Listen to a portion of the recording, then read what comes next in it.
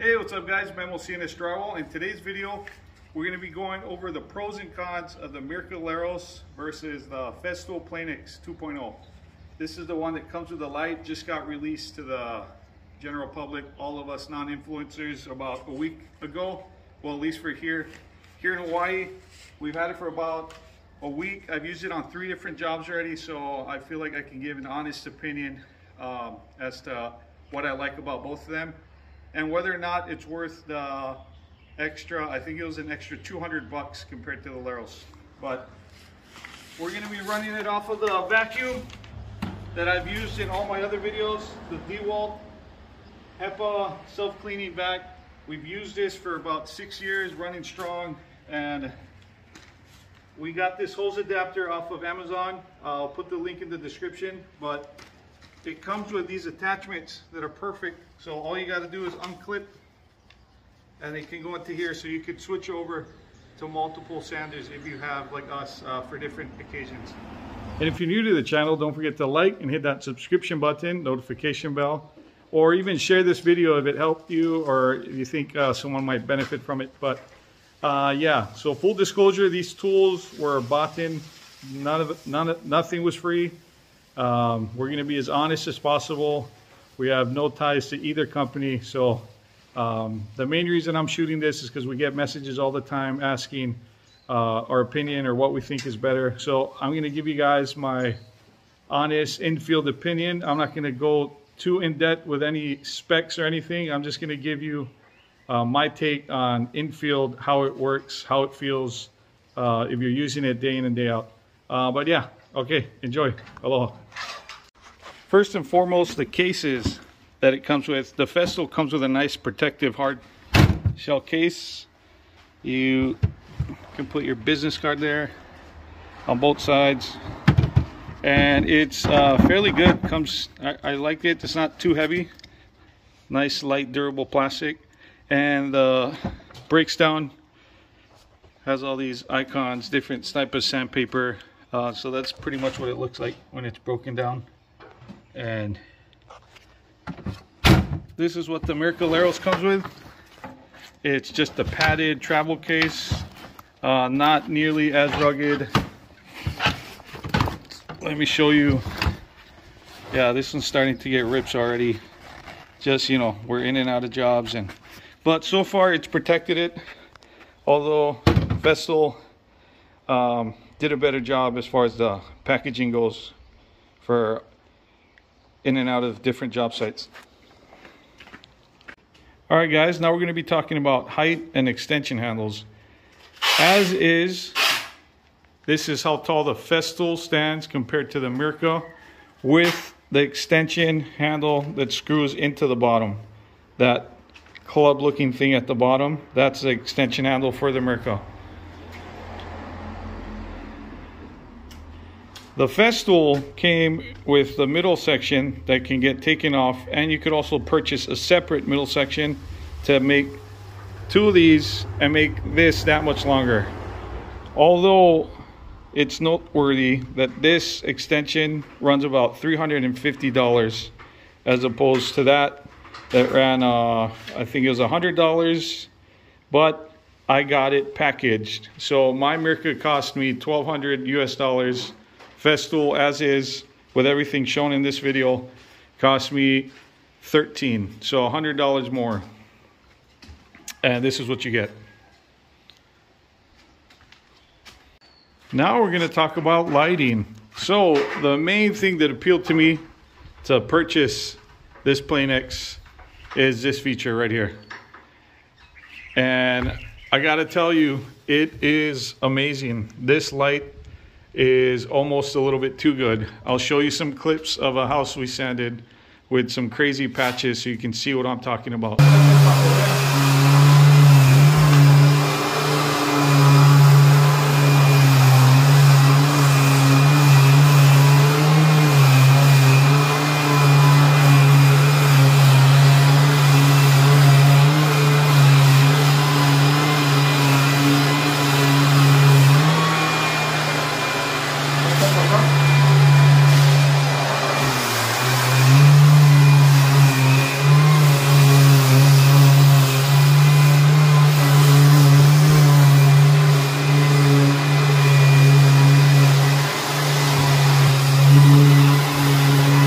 But this light is super good. It looks a lot brighter on camera.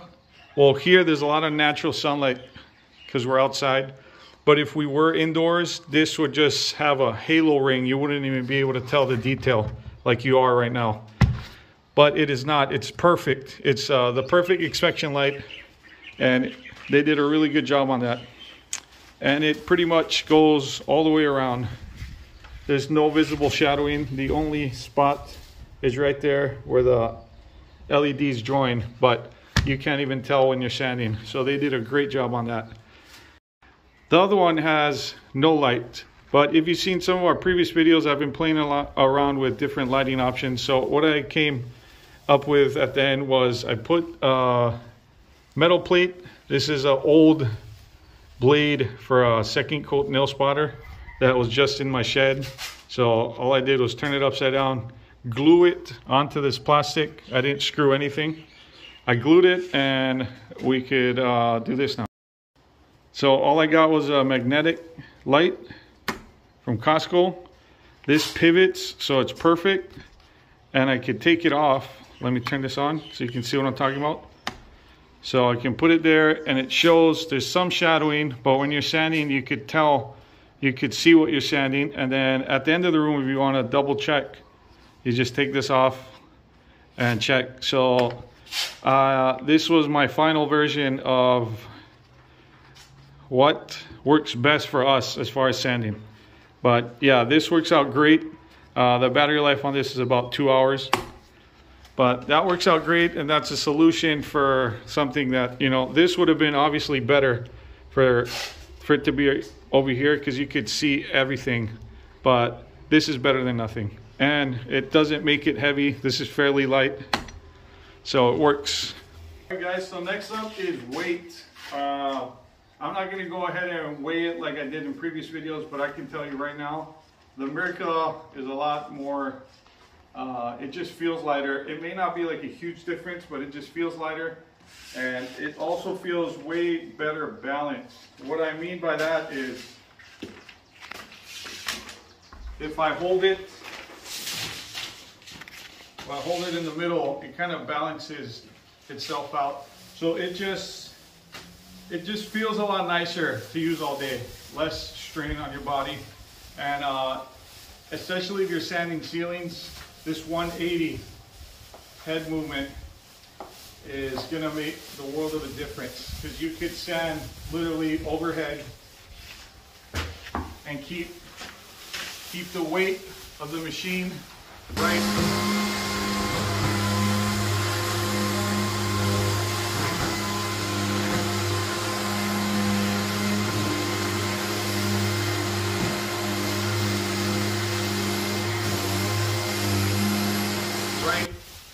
centered to your body. You don't have to go this way how you're gonna have to with the with the Festool. And now the weight is transferred onto my shoulders. Here, it's a lot easier, a lot more sustainable throughout the day to sand. So all you do is just hold it here and just go with it. But yeah, Mirka is is uh, better in that sense. The Festool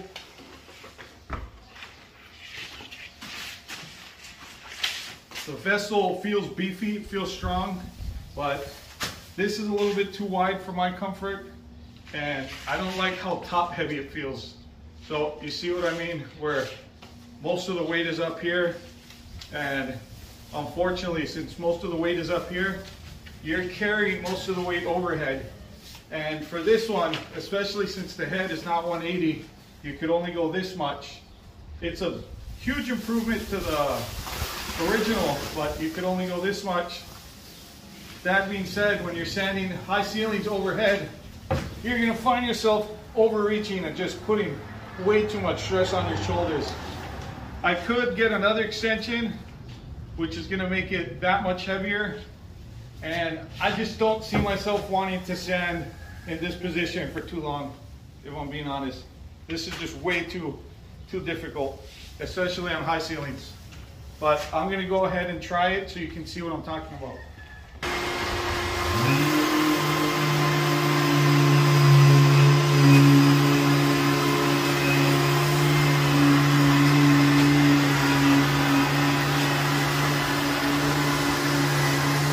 you can see it is a bit more strenuous. I feel it a lot more than with the Mirka. And um, another thing that I want to put out there is you go on Instagram and all these videos of the thing just holding itself up. That really has a lot to do with the vacuum. So I'm using both on my old DeWalt vacuum that has, I think, 140 um, CFM.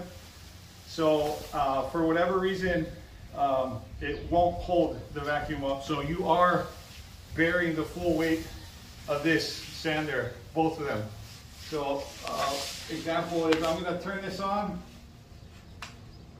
I'm gonna turn it on and turn it off just to have the vacuum running without, without it oscillating so I don't burn the paper to show you that it's not gonna stick to itself with the DeWalt back. Maybe with the Festool it'll work a lot better and there'll be way better suction, but I'm gonna dial it all the way up. It has the suction control on here. It's full blast on the on the vacuum itself. So I'm gonna turn it off and on just to keep the vacuum running, not the head moving.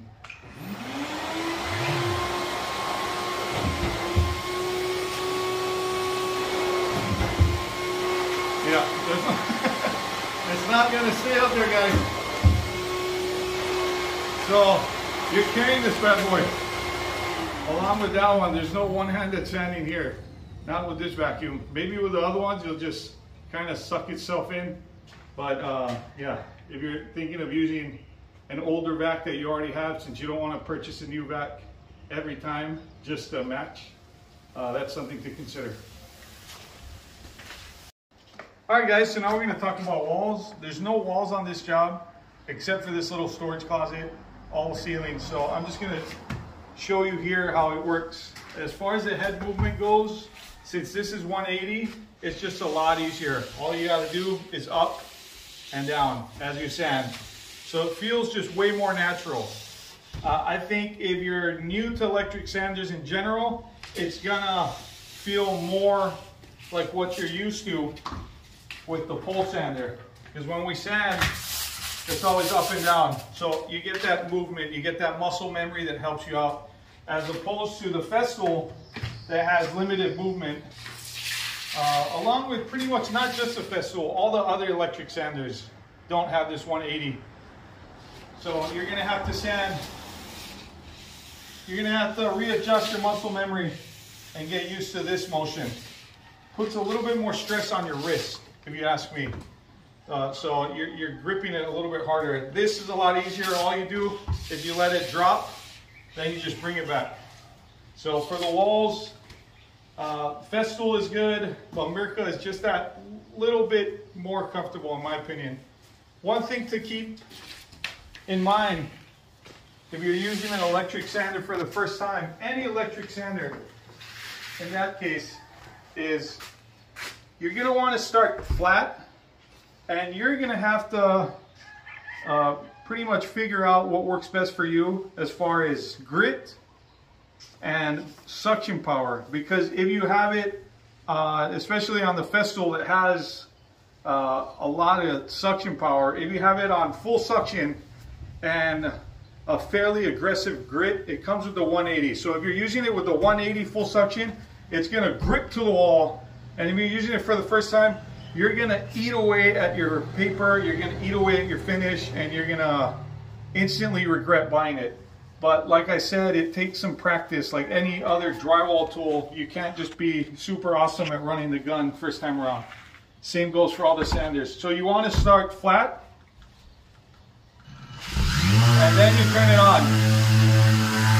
If you don't do that, if you turn it on, and you go in at an angle, even if it touches it a little. Come closer, Carlos. You instantly burn. You just create a groove. You dive into your, uh, I don't know if you can tell on the camera, but here too, when I went in at an angle, I just pretty much gouged all the finish. It's a visible gouge. Let me get a little closer. So this right here, you could feel it. I could feel it right away with my finger, even through the glove. I gouged it. So yeah, you want to be, there's the other gouge. you want to be nice and flat. And with this one, since the movement is this way, you want to keep the head moving in this direction. You don't want to go side to side too much because you're going to cause it to uh, not operate on the, the axis that it has here, the hinges. And it's going to want to shake a little more because it's a random orbital. But yeah, that's just something to keep in mind with all electric sanders. It's not going to be a perfect finish right away. You got to kind of dial it in and see what works best for you.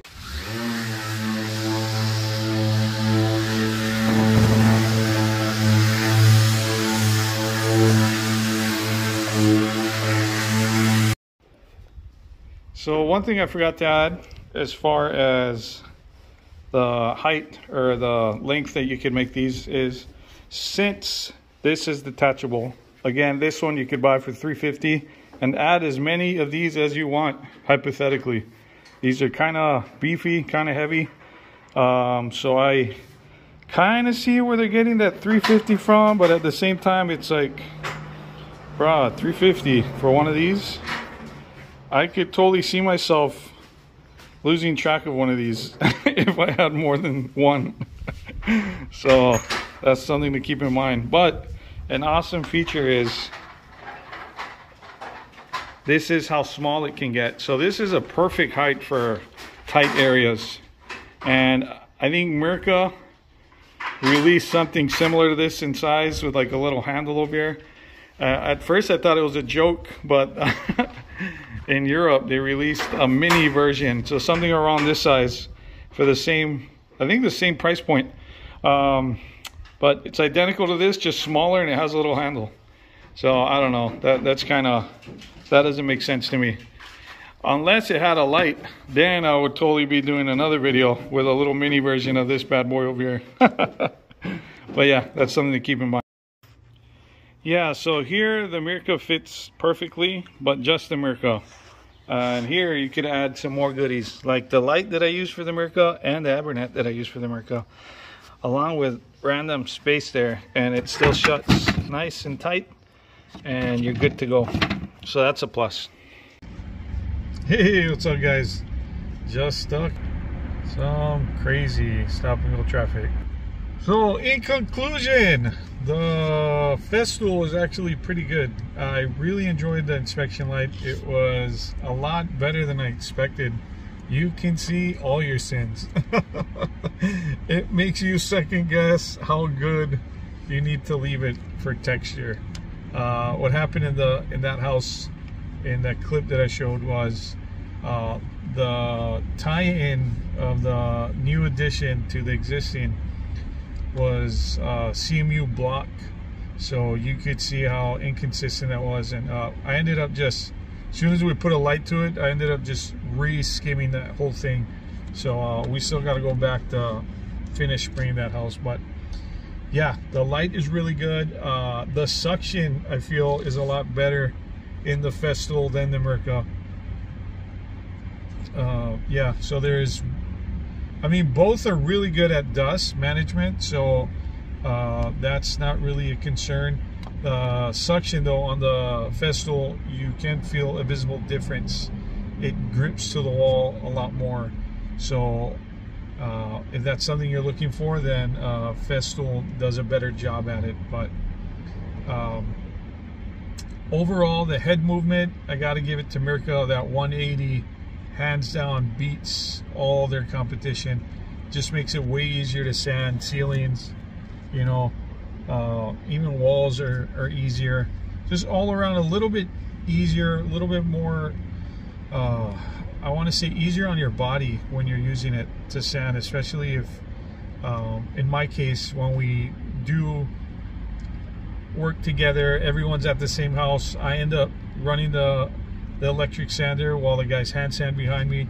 So one guy can do the work of pretty much three or four with the electric sander and that frees up everybody else to hand sand so in turn you finish a lot faster.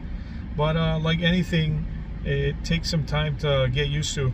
Uh, you can't go from pole sanding to electric sanding and expect the same results right away um, and you know maybe it's not for everybody the electric sanding. I, I've had uh, comments people reached out to me that have bought the Mirka and that uh, just think it burns, uh, it's too aggressive, which is, um,